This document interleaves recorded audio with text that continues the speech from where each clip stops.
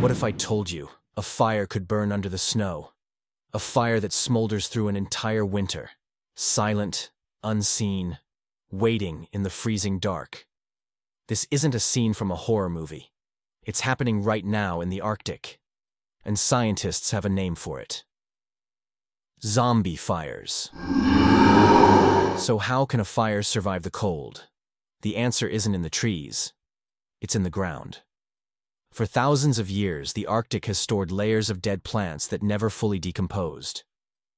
It's called peat, a giant natural fuel source, frozen and preserved by permafrost. But as the Arctic warms, the permafrost begins to thaw. The peat dries out and becomes the perfect fuel. When a fire starts, it doesn't just burn the surface.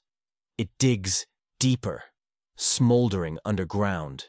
Then, winter arrives.